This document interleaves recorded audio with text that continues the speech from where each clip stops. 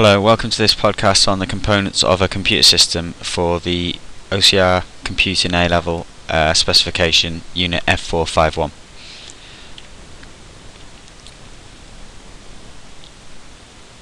So, the components of the computer system include hardware. Hardware consists of the physical parts of the system, so that's everything that you can pick up, you can touch, um, you can throw, you could damage, for instance. So, Here's an example of a piece of hardware which is a chip inside, uh, one example could be the processor. Another type of hardware obviously is peripheral devices. These are hardware devices that are outside the computer processor. They're typically connected to the computer by cables, but they don't just have to be connected by cables. A printer is the obvious example, um, it's outside the computer itself, but a hard disk is also a peripheral even if it is in the same box as the computer, it's still a peripheral because uh, it's outside the thing that does all the work, and that's the processor.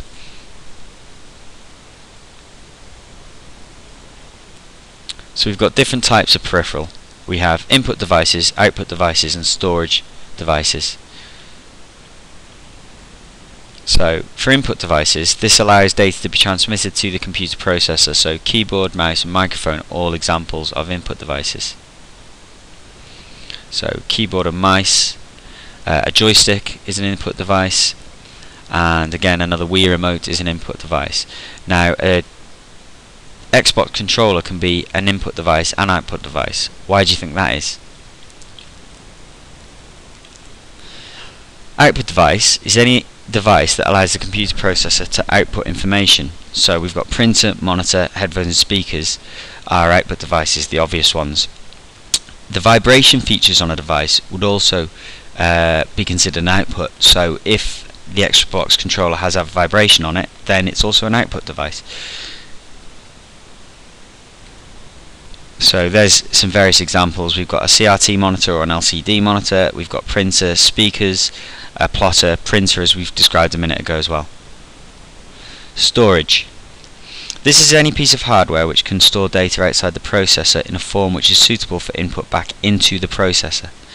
So this is needed as data must be saved for future use as the processor is switched off. Also for the transfer of data from one machine to another um, you would need storage, uh, long-term storage or backing storage it's sometimes called.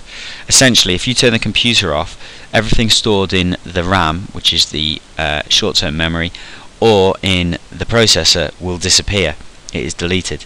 So you need storage if you're going to use that data uh, for future use.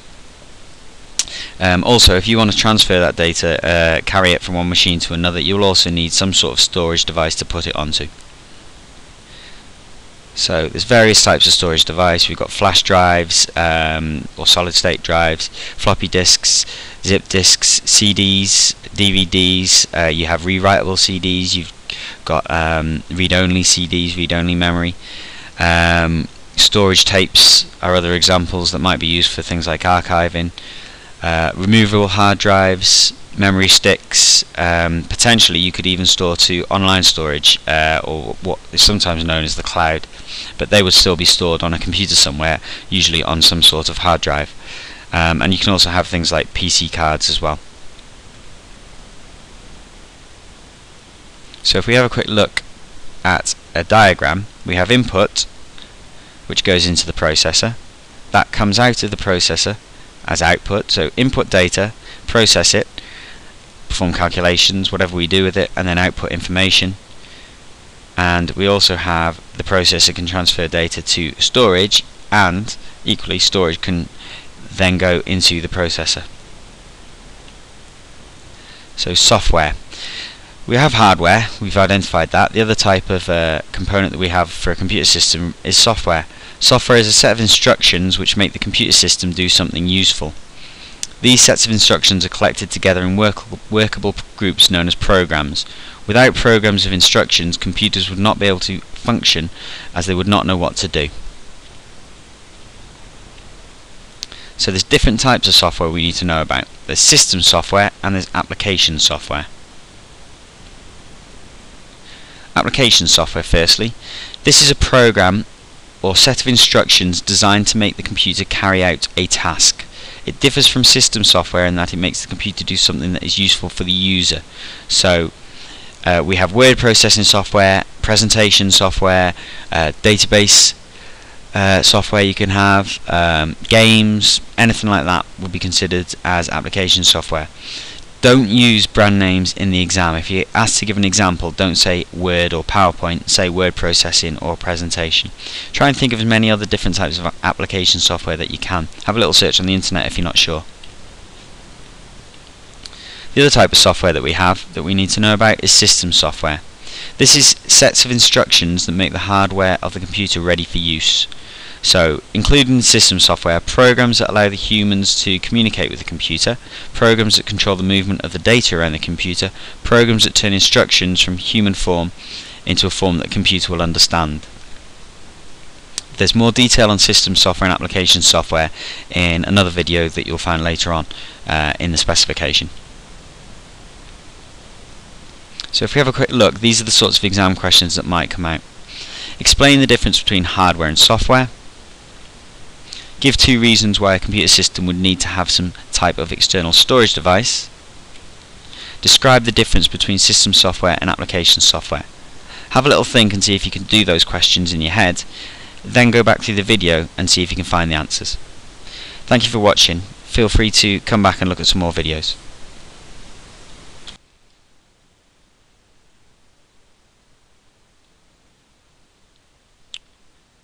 Hello, welcome to this podcast on the components of a computer system for the OCR Computing A level uh, specification unit F451.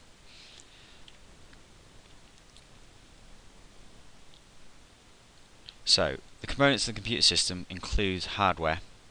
Hardware consists of the physical parts of the system, so that's everything that you can pick up, you can touch, um, you can throw, you could damage, for instance. So, Here's an example of a piece of hardware which is a chip inside. Uh, one example could be the processor. Another type of hardware obviously is peripheral devices. These are hardware devices that are outside the computer processor. They're typically connected to the computer by cables, but they don't just have to be connected by cables. A printer is the obvious example. Um, it's outside the computer itself, but a hard disk is also a peripheral even if it is in the same box as the computer, it's still a peripheral because uh, it's outside the thing that does all the work, and that's the processor.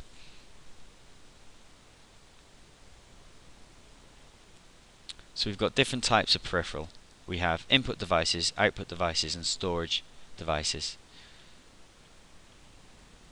So for input devices, this allows data to be transmitted to the computer processor. So keyboard, mouse, and microphone are all examples of input devices. So keyboard and mice, uh, a joystick is an input device, and again another Wii remote is an input device. Now a Xbox controller can be an input device and output device. Why do you think that is? Output device is any device that allows the computer processor to output information. So we've got printer, monitor, headphones and speakers are output devices, the obvious ones. The vibration features on a device would also uh, be considered an output. So if the Xbox controller has a vibration on it, then it's also an output device. So there's some various examples. We've got a CRT monitor or an LCD monitor. We've got printer, speakers, a plotter, printer as we've described a minute ago as well. Storage.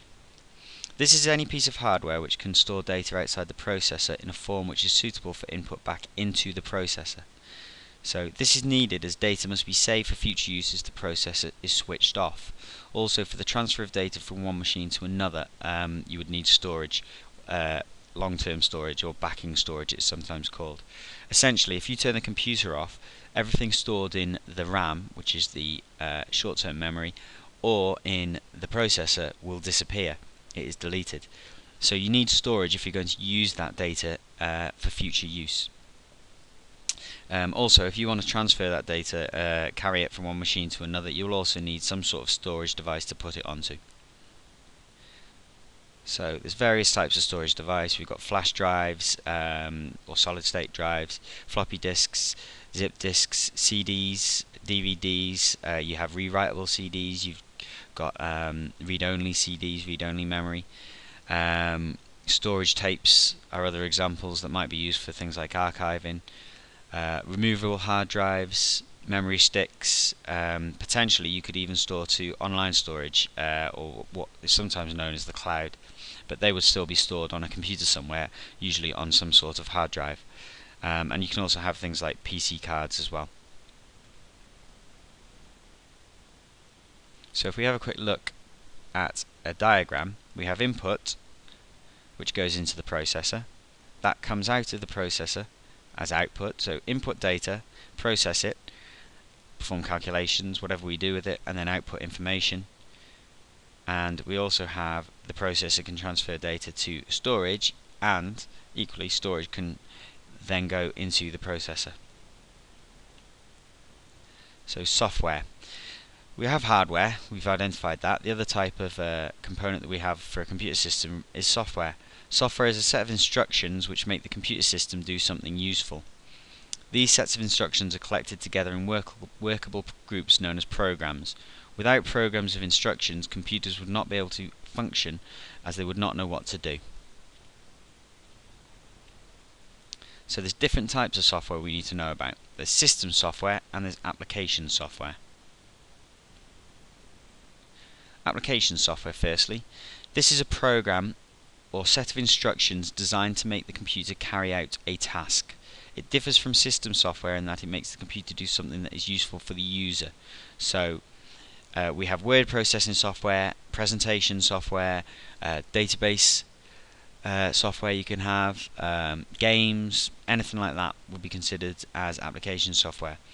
Don't use brand names in the exam. If you're asked to give an example, don't say Word or PowerPoint, say word processing or presentation.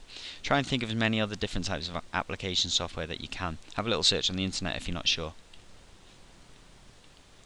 The other type of software that we have that we need to know about is system software. This is sets of instructions that make the hardware of the computer ready for use. So, including system software, programs that allow the humans to communicate with the computer, programs that control the movement of the data around the computer, programs that turn instructions from human form into a form that the computer will understand. There's more detail on system software and application software in another video that you'll find later on uh, in the specification.